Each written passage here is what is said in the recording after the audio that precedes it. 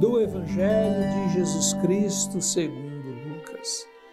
Naquele tempo, Jesus disse aos fariseus: Havia um homem rico que se vestia com roupas finas e elegantes e fazia festas esplêndidas todos os dias.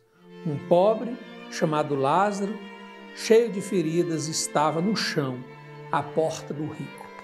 E o Evangelho segue contando essa parábola de Lázaro e do rico, dizendo que as pessoas que têm posses devem ter compaixão daqueles que estão vivendo em necessidade, porque essa é da vontade, essa é a vontade de Deus.